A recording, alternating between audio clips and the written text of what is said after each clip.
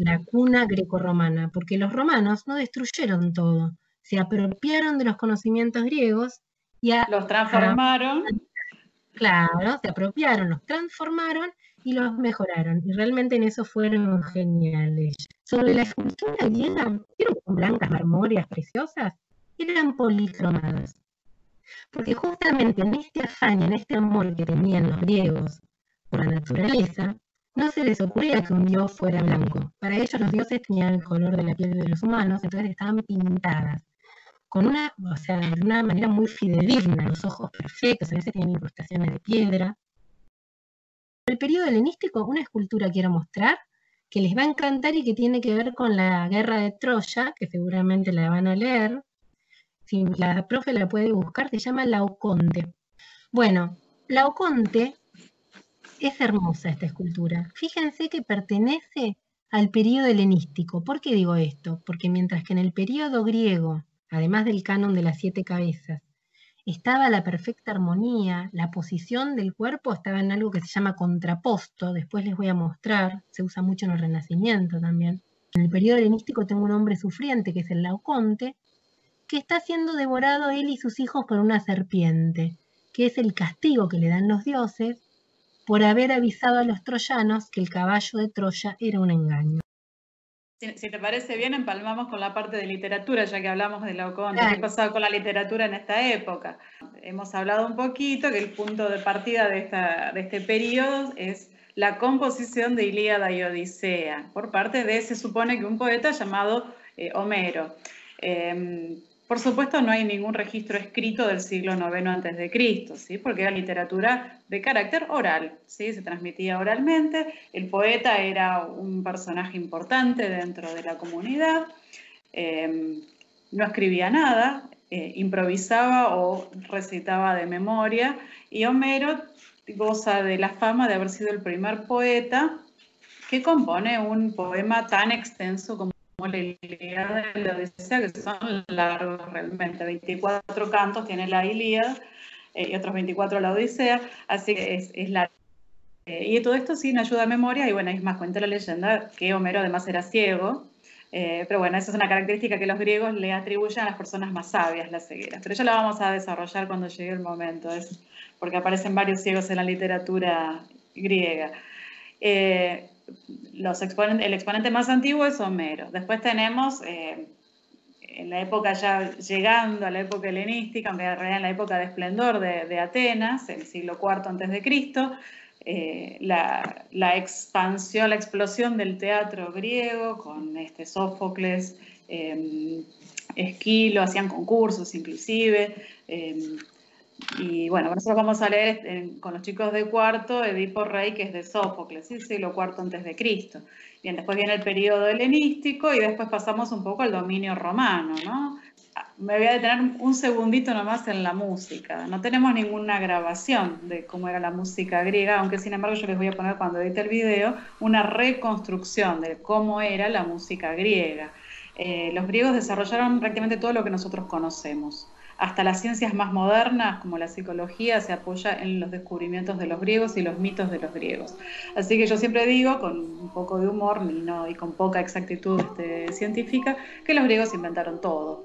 Eh, y si no lo inventaron, lo recopilaron y lo juntaron de tal manera poder transmitirlo y se hicieron cargo ellos, ¿no? Pero nosotros recibimos toda la cultura prácticamente a través de los griegos. Entonces eh, la música no se queda fuera. Ellos tenían, si bien no tenían partituras como las que tenemos nosotros hoy en día, sí tenían un sistema de signos para eh, dejar anotado en la poesía, porque la poesía no, no, se recitaba, sino que la cantaba, pero se iban juntas todavía en esa época, pues este, literatura y música. Yo les hablé del poeta, que iba con su lira, con su pequeña arpa portátil, y cantaba el muchacho. Entonces, literatura y música iban juntas. Entonces eh, quedan alrededor de 60 fragmentos de poesías con algún tipo de notación musical, una especie de protopartitura este, de los siglos anteriores a Cristo, en la época de la, de esplendor de la cultura griega.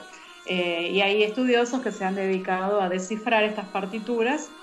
Y bueno, ya les digo, les voy a poner de fondo en el video eh, algo, de, la música reconstruida de esta época. Bien, la música formaba parte de muchísimas actividades de la vida cotidiana inclusive. ¿sí? Em, hay este, eh, bueno, los géneros literarios no estaban divididos como los conocemos nosotros actualmente, sin embargo nuestros géneros literarios, los tres géneros que, que conocemos, el, lírico poético, el dramático teatral y el narrativo, se apoyan sobre géneros griegos, pero los griegos tenían más géneros que nosotros. ¿sí? Este, originariamente en, la, cultura griega nuestros tres géneros se escribían en verso, ¿sí? el teatro era en verso, la lírica por supuesto en verso y la narrativa también era en verso. La Ilíada de la Odisea, por ejemplo, fueron compuestas en verso. Y digo compuestas y no escritas porque recién se pusieron por escrito en el siglo VI antes de Cristo, ¿sí? pasaron unos 300 años de tradición netamente oral. Profe, ¿te parece que pasemos un momentito a Roma? Bien, acerca de la literatura, bueno, tenemos poetas muy importantes, como por ejemplo Virgilio, que compuso lo que se llama, bueno, la, Eneida, que es el equivalente a la Ilíada y la Odisea para los griegos, para los romanos precisaban también un poema así fundamental, fundacional. Entonces, este, Virgilio escribió, escribió, este sí la escribió, no solo la compuso, sino también la escribió, a la Eneida en el siglo I antes de Cristo. A partir de ahí, bueno, hay un montón de poetas, este, dramaturgos, que tal vez no sí, tienen el mismo peso que los griegos, pero hay una, figura muy importante que, que conviene, conviene señalar, que es la figura de Aristóteles. Aristóteles era un filósofo griego que tuvo la genialidad de poner por escrito toda la teoría del arte y la teoría literaria. Así que nosotros conocemos con mucho detalle cómo era la literatura griega, cuáles eran las reglas del periodo clásico, eh, porque Aristóteles se tomó el trabajo de dejarlo por escrito. Y me detengo un momentito acá para hacer dos comentarios. El primero es que cuando nosotros asignamos fecha de inicio, fecha de finalización de un periodo, bueno, sepan que es aproximado, no es que el primero de enero del 476 cambiamos de periodo, no es que... Eh, que a las cero horas dije, bueno, terminó la antigüedad clásica, ahora empieza la Edad Media. No, no es, no, no es tan así. Son procesos y los cambios también toman un proceso, toman un desarrollo en el tiempo. Lo otro que quiero mencionarles, que ya un poquito lo anticipamos, es qué pasa con los diferentes periodos, son varios los, periodos que vamos a mencionar, y eh, se produce lo que se llama un movimiento pendular. Conocen el péndulo, ¿no? Es ese, extremo que, este, tienen eh, los, algunos relojes que se van moviendo de un lado a otro, cuando llega a un extremo vuelve. Bien, se dice que la historia del arte realiza ese movimiento pendular de punta a punta. Respecto de la antigüedad clásica, que es el modelo, el siguiente periodo se va a oponer a la perfección clásica. El, que, el periodo que le siga, esa a la Edad Media, el periodo que siga la Edad Media, el Renacimiento, se vuelve a inspirar en la, antigüedad clásica y retoma todos los cánones de los clásicos. El siguiente periodo es el barroco, se va otra vez, se aleja de la antigüedad clásica y después viene el neoclasicismo y otra vez volvemos a los clásicos y así se van sucediendo los diferentes periodos porque y, se refieren siempre, la referencia es el clasicismo, ¿no? la antigüedad clásica. O se parecen a la antigüedad clásica o se oponen. Que todo esto que nosotros llamamos cuna grecorromana, en realidad estuvo a punto de perderse, porque ya lo vamos a ver después, pero con las invasiones bárbaras, mucho del conocimiento que se había adquirido se perdió y tuvo que volver, en algún punto se salvó en pequeños grados y hubieron un montón de elementos y de cosas que tuvimos que volver a aprender y lo logramos. Entonces de ahí también ese regocijo cuando se vuelve a reflejar la cultura grecorromana. Bueno, lo que estamos viendo acá es escultura romana. La figura es la de Augusto, Octavio Augusto, que fue el primer emperador, el sobrino de Julio César, y si ustedes ven, tiene una cara que no me van a decir que era bonito. Lo importante es que era un hombre real. Fíjense que cuando hablábamos hace un ratito de escultura griega, porque esto es algo que los podría confundir, ¿cómo diferencia una escultura griega de una escultura romana? Bueno, por supuesto que se hace de acuerdo a dónde se encontró, a qué periodo de la historia corresponde, pero ustedes tienen más datos, que son estos. Las esculturas griegas generalmente están desnudas, salvo las mujeres o las coré que tenían un peplo, pero generalmente están desnudas porque es realmente una manera de alabar el cuerpo humano. Y además estaban idealizadas, no íbamos a encontrar imperfección ninguna, ninguna persona nos iba a parecer que era fea en una escultura griega. En cambio, los romanos eran retratistas. Fíjense que esta es la cara real de Augusto Octavio, ¿sí? Y eh, es la cara real, es decir, son sus orejas, es su nariz. Se buscaba copiarlo. A lo mejor no era el cuerpo real de él, porque era un senador más que un guerrero.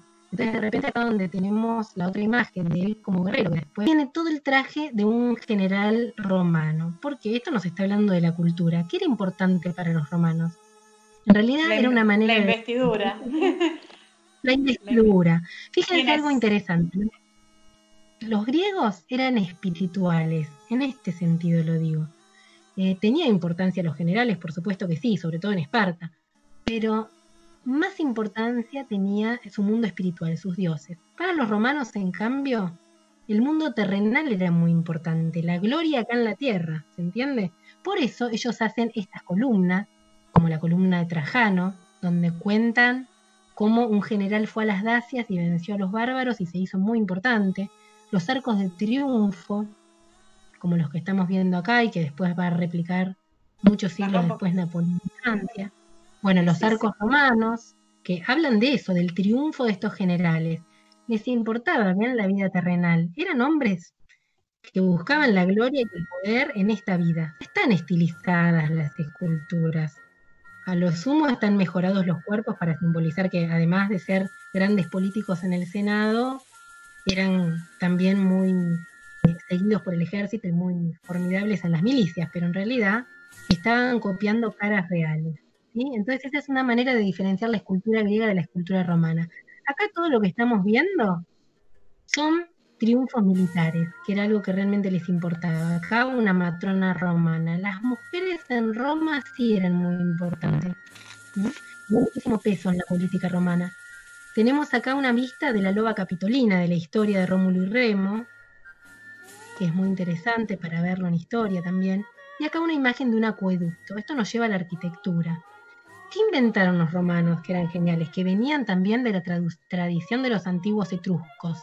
Y acá tenemos un acueducto. La importancia del acueducto, la posibilidad de poder llevar agua a los distintos lugares, la importancia de las vías, las primeras avenidas, la vía Apia, por ejemplo. Ahí está la, cúpula del, del, panteón. Volvemos a esta diferencia también entre Grecia y Roma. Los romanos toman lo griego, lo aprenden, lo mejoran incluso y eh, lo van a recrear. Por ejemplo, acá el uso de la cúpula en el panteón. También los arcos de medio punto. ¿Qué llamamos arcos de medio punto? Miren, a ver si encuentro. Acá, bueno, acá tengo un arco de medio punto, ¿lo ven? En esta, en realidad es una bóveda, pero con un arco de medio punto. Y después tenemos elementos griegos, el frontis triangular, las columnas típicas de los templetes griegos, frontis triangular acá, la columnata típica de los, de los templos griegos, y atrás se puede ver que este panteón es en realidad circular, o sea, fíjense qué interesante como arquitectura. Todo lo que es redondo el edificio, sí, es redondo. En cambio, este es circular. Y fíjense, en la parte interior tenemos las arcadas, en el piso tenemos el círculo también, ¿no? Como para poder verlo. Y este piso no es un piso así nomás, está hecho todo con pequeños azulejitos, a lo que llamamos mosaico romano, y en pintura pintaban en retablos de madera, es lo que menos llegó. Quedaron algunas pinturas en las excavaciones de Pompeya y Herculano. Una pared, esta pared, esta pared es de, las ruinas de las excavaciones de Pompeya. Bueno, ya estamos en el siglo I después de Cristo, ¿no? Han, desarrollado bastante la pintura. Y ese hacía, entiendo que al fresco, profe, ¿no? Sobre, sobre el cemento de la pared. Eso, al fresco quiere decir que se pintaba mientras estaba fresco el material con el que se hacía la pared, por ejemplo el yeso o el estuco, todavía estaba húmedo y así se iba agregando la pintura y la, pared iba absorbiendo el color. Entonces por eso también resistió bastante el paso del tiempo, porque no es algo sobre la pared, sino que es algo adentro de la pared.